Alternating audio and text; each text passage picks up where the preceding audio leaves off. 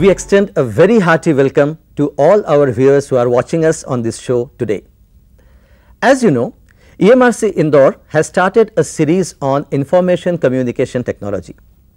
In this series, in the first part of information architecture, we had with us a very eminent speaker Dr. Ashwini K. Ramani. Dr. Ramani as you know is currently the head of the department of School of Computer Science Devi Ahilya Vishwavidyalaya Indore. In the first part of his lecture on information architecture, he spoke on the notion of design, communication in ICT, the technological threats that has been thrown open by ICT, the various form of communication like telephone, wireless, radio, uh, computing and subsequently he also talked about convergence of various technologies. That brought us to the topic of information society and information ailments. And at that particular point we had stopped in the first part. To continue his discourse and to conclude the information communication technology series on the topic of information architecture, I once again invite you sir Dr. Ramani to this show and I would like to ask our viewers to be with us and look at the various angles in which ICT has revolutionized our society. Dr. Ramani. We can see that our ability to create information has outpaced our ability to search, organize and publish it. Now, under such situation, when the enormous information is to be organized, the management of information cannot be left to a few individuals but it is the responsibility of every individual at organizational level and at societal level that we need to organize the information and it has become a key challenge evolving to a new discipline of information architecture. The basic point is that the people need information and much more than that people need the right information at the right time. So, our challenge is to see that we can provide the people the right information at the right time. Information designing is a key area and we need to make sure that we can make clear and effective presentation of information to the people who need them. However, this process of carrying out information availability to the people through ICT a very important component is a human being involved into this. Without human intervention, it will not be possible to make such large system successful. If we look at the current situation that when we try to adopt uh, information technology, we see that the people who are using information technology are generally uh, get a feeling of frustration where they say that though I have a automated system with me, but I do not see that this automated system can meet my requirements. And he always complains that the backlog of requests just keeps growing. Another common complaint by the people is that we are spending millions on computers, but no one can show me that how this system is able to meet my corporate goals. Such issues are very common to see in information systems. What is actually required is that we need to look at that where is our planning of such information system is successful or not, how we have gone into the basic point of architecturing such system. So, therefore, it is very essential to have an information architecturing to guide our planning efforts. Let me tell you a formal definition of information architecture. What is an information architecture? It gives us a high level or a general view which will convey us the overall understanding of the different information related components, how those components are organized and how those components communicate with each other. As a resemblance we can always imagine that when we wish to make any building, we try to look at the building and try to relate its components and then arrive at a good architecture. In the same way, we have to imagine that what will be the information system components, how these components interact with each other so that we can make a overall good information architecture for the organization. It will give us a general view of the organization's information related components and will also convey us overall understanding of each component and then how each component communicate with the other component so that we can make a good information architecture of the system. But then this information architecture is mostly applied onto the internet in the current scenario. And the concept has uh, much more gone into the in internet first. And slowly it is coming up in the other areas too. It is because of the revolution in internet that we have started living with the uh, living with the information and it is a uh, single source and a shared environment through which we try to interact and get the information. When we try to build up a information architecture uh, for such applications, it is the human factor first which is important, which will shape the information, which will make sure that the information is useful to the people. So, it is a kind of a specialized human work which can only make so.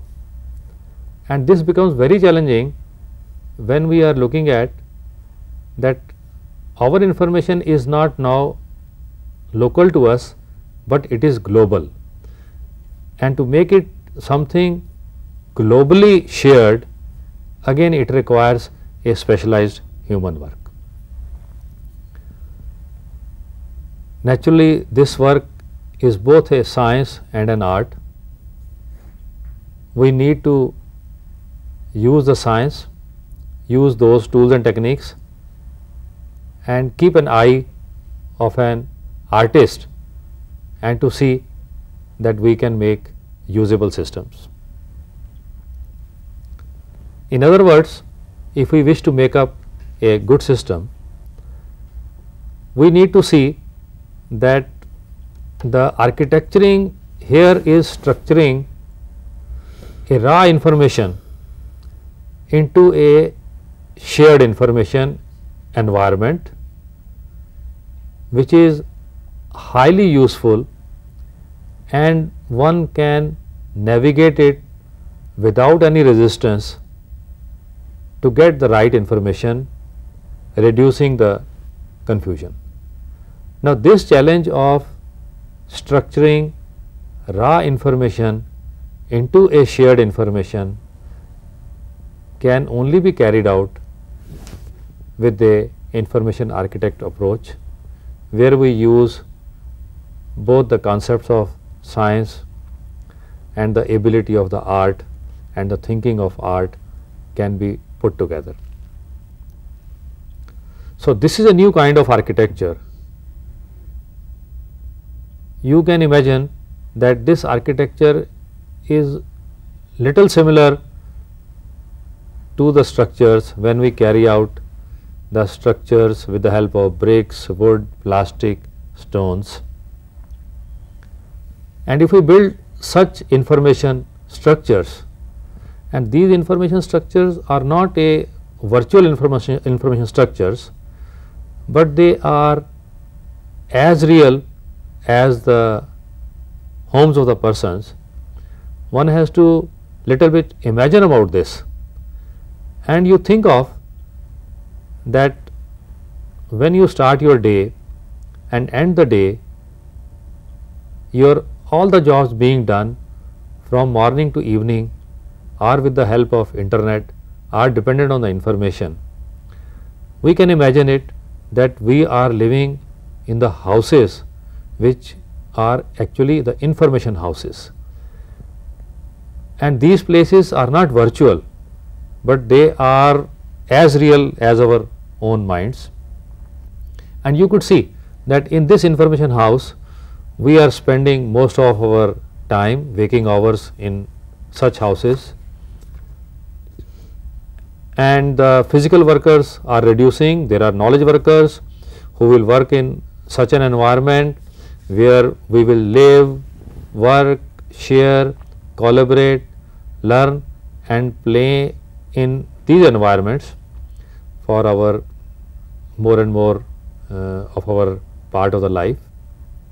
The idea here is that we are conceptualizing an information house where we spend the waking hours, where we carry out all our work through these information houses and use different sources of information, depend upon them and make them use for our whole life. But then again the problem is that there is too much of information which we can really understand it. Then what to do? Under such condition in the same way we clean our house, we maintain our house, we have to clean and maintain the information system. And what we call it as that our information system has to breathe and refresh itself.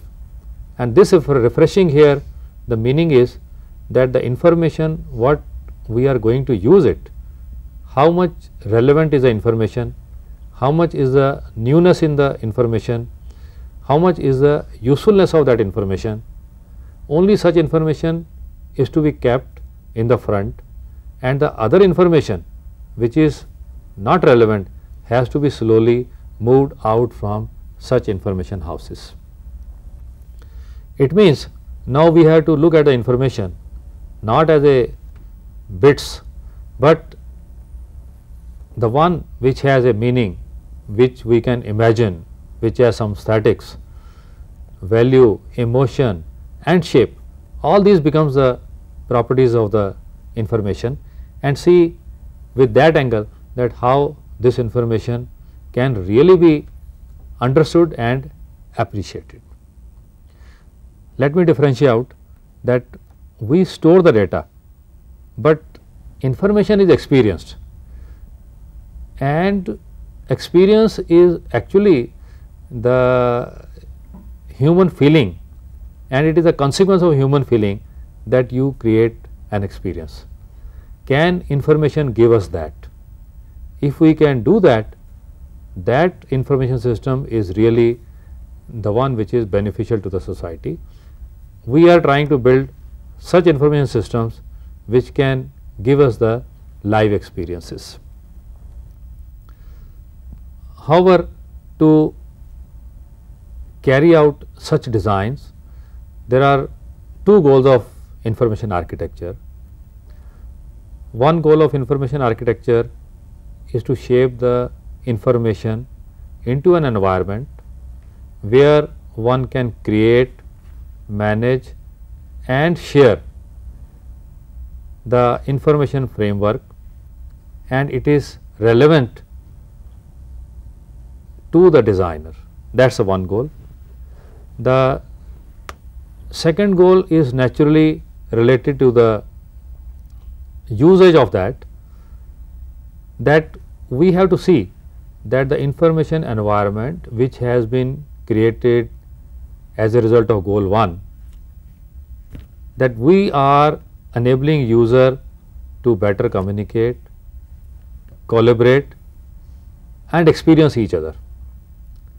You can see the second goal is more relevant to the first one because if information is not giving us a feeling then it has no meaning. And if the information is not useful to the people it is no longer has any context. And then it is simply a data uh, which has no value. We call it as its value is dust. Therefore, when we design an information architecture, we have to see that the primary purpose of information architecture is to ensure that everyone who is concerned whether it is the people from the business or from the staff or from the society, they can understand the meaning of the information, can understand the communication from the information and make it a useful part of their life. So, this is the primary purpose. To conclude I have to say that information architecture is about the people first and the technology second. It is the people who will make it a useful one and technology will be only the enabler. Let me look at this what people need. We have to because we wish to make an information system useful to the people. So, we have to see that how people look at such system. We have to study the people behavior, we have to study the people psychology and then try to understand that what people would like to uh, take from the information system. It is a people behavior that people would like to uh, know that where are they, where they are going and how actually will go there. People would like to see that how their essential needs are being met. So, this is basic constraint which we have to keep in our mind when we try to design a information system. The second thing is that people now cannot wait, they want a immediate access. It is because of the internet that with few clicks we wish that the right kind of information should be available to us. So, the architecture should be such one that which can give us immediate access. As I said earlier that architecturing started with the internet because internet was a huge source of information and put up a great challenge that how such can be organized. Now, how to carry out the architecturing process, what are the tools which are being conceived and used in designing the information systems.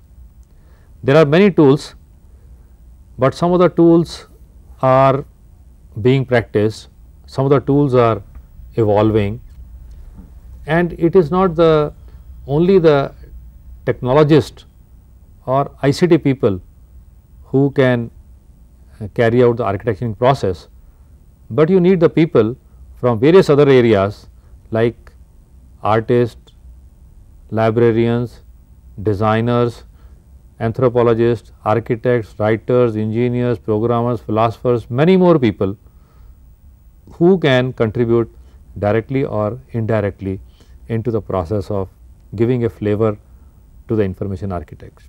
They all bring different perspective and they are all necessary in making up a good information architect system. The tools which are being used in many forms, the some of the tools are controlled vocabularies, mental modeling, brainstorming, ethnography, theories, human computer interactions and many more. As I said that some of these tools are common, some are the new ones and we will be you know inventing many new many new tools in the coming time. But what is important is that we should have the practice of and approach for the architecturing that is more important than any tools or the perspective, but the approach towards having designing the information architecture is an essential thing. Now, what an information architecture will contain? The information architecture would contain many number of things. For example, in a business area, it will contain all the information that how the business is being conceptualized and how this concept is being realized and a full planning for that. In a brief, I would say that it will contain the goals of the organization, it will contain the business functions to achieve those goals and subsequently that within those business functions how each business function is getting realized, what are the information needs for the each business function and subsequently go to the level where we can see that how the smallest component is contributing to the business. If we have a good architecture with us, what will be the benefits of such an architecture? The very first thing is that it will gives a wonderful means of management communication among the management and from the management to the other persons in the organization. The architecture is in fact a plan and does not contain any technical jargon, but the common definitions which are understood by all the people, such things are being used thereby communicating the requirements to all the people and all of them can have the same understanding about what is being talked about and what will be the system being built up so that each one can understand the system which is being built up and each one has a same model in his mind for the system which is being conceived. If such thing is achieved, then we can say that we have been very successful in giving a, a good foundation to the entire process of building such a system. The other advantage is that once I have put up an architecture in place, I would know that which are my priority areas, I would know what will be the sequence of carrying out or implementing such a system. I would also know that how my priorities are dictative and what approaches I should use so that I can implement first the things which are of highest priority to me. Also it will be possible for us to define very clearly the scope of the each system, defining that what work is to be performed in every system and what work is not to be performed. We will know in advance which business process and data components are important and included in the each confidence. Uh, therefore, we will not be able to repeat them. We can also have a now a great confidence into the system that there will not be any major surprise or a hidden surprise which generally come up when we develop such large systems. And it is very detrimental to the progress of the project if any sudden changes are made or sudden surprises come up.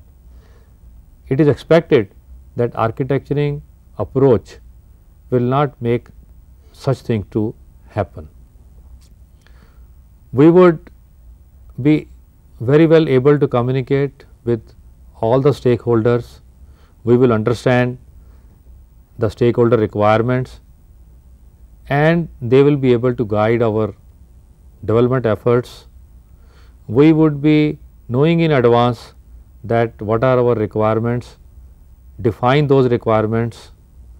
We will be also able to plan and develop a quality systems, a robust system so that such systems are adaptable and expandable.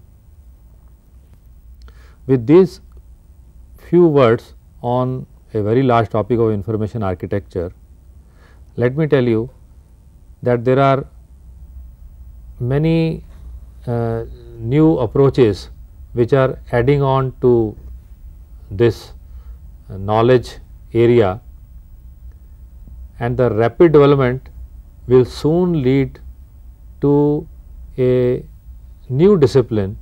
We call it as an information architecture discipline we would see that people will get together and contribute to the development of such a system or such a knowledge area so that it becomes a strong discipline which can make the development of such large IT systems a reality which can benefit the people in the society. In conclusion, I have to say that information architecture is a emerging field and it is putting together art and science. That approach is used for designing information system. Many different disciplines have to merge together to architect the right information system. Again it will enable the people at multiple levels to carry out interaction among themselves. Information architecture should be first an act, then a practice and then a discipline. Sharing the practice will grow the discipline and make it stronger. We have to see, we have to create communities where such sharing is possible and thereby contributing to the growth of this discipline. And finally, I have to say that this profession of information architect is a 21st century profession. This discipline will grow. Let the interested people in this area come together, contribute to its growth and see that this becomes a profession for 21st century and we are able to get our due in this area. Thank you very much.